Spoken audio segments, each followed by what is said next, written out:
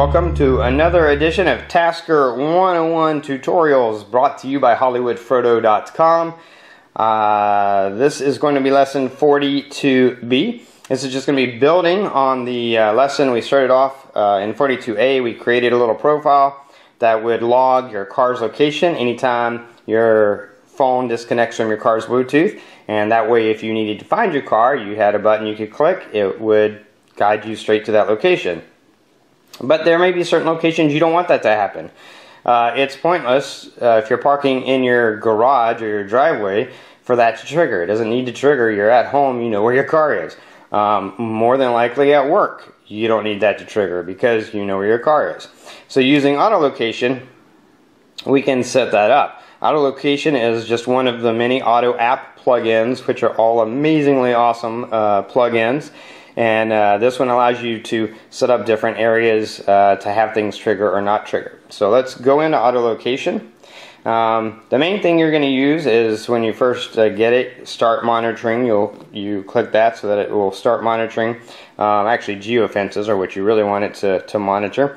And then uh, is to set up geofences. This uses the Google location services, uh, which Google has an API which is available, and uh, the uh, Auto Apps uh, developer uh, plugged into those and has made great use of them with Tasker. So we're going to manage geofences. You'll see I already have home and work set up, and you can see it knows right now that I'm inside my home geofence and that I'm outside my work geofence. And since it knows that, things can be triggered based on that. We're going to set up a new one. Now you can search for a particular dress or something if you want to, but we're not going to do that. I'm going to set one up for the grocery store. When I go to the grocery store, I uh, uh, don't need, if you long press it switches views from uh, map view to uh, Google Earth view. But when I go to the grocery store, I don't need to remember my where I parked my car because it's a very small parking lot. So I'm going to tap it and that opens up the geofence. You can make it larger or smaller to cover the area. So that pretty well covers because the grocery store is right here in this little area. So by doing this, now anytime I'm in that area, it will know. And when I'm outside of that area, it will know. So I'm going to click accept geofence. I'm going to name that Ralph's. Oops. Ralph's. And then I'm going to click OK. So the geofence monitor has been started and right now it knows that I'm outside of Ralph's. So let's get out of here and let's go into Tasker and go back to that profile that we uh, created last time.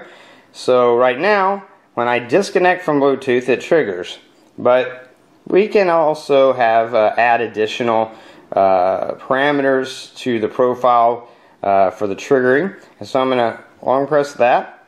I'm going to click add. I'm going to click think for this. I'm going to go with it's either event or state. Let's try state. Have a hard time remembering. And then plug in and then auto location. So I think I was right. And so I'm going to say geofences. So geofence. I'm going to click the little edit button. And this is how I uh, uh, can choose a geofence. So I'm going to click that and choose Ralph's. And then I'm going to click invert.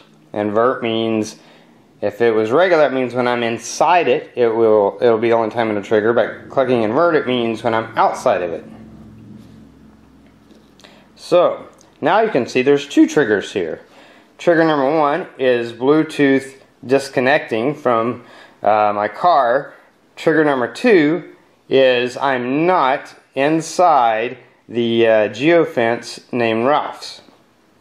So only if I'm if I if I go to Ralph's and I park, my phone will disconnect from my Bluetooth, but I will not be outside of this geofence, so this will not trigger. And so you would set that up for your home, you would set that up for work. Um, really, just the, the for me, I just set it up for uh, those two locations, but you could set it up for the grocery store or a couple of other places if you wanted to, where you know you go there frequently and you don't need your phone trying to find your location and save your location when you go to those places. And so that's how you uh, can make this a little bit more advanced. Uh, add home and work geofences and then set it to not trigger when you're in those. And so we'll only remember your car location when you disconnect from Bluetooth and you're not inside of those specific places you set up. Pretty simple. Of course, auto location can be used for other things. You can use the context. I have one that puts my phone in vibrate when I disconnect from my Bluetooth and I'm at work. When I'm inside my work geofence, uh, it uh, automatically puts my phone into vibrate. So um, you can use auto location for all kinds of uh, cool location triggers. Um, it is by far the best way uh, to use location triggers within Tasker. Um, so if you don't have the app, get it, buy it, pay for it. It's well worth it to have auto location. It really enhances Tasker when it comes to location stuff. Anyway, um, that's it. Pretty simple lesson, pretty easy to do. Just added the, you know, added that little uh, extra thing. Uh, and just wanted to show you guys how you do that using the auto location tasker plugin.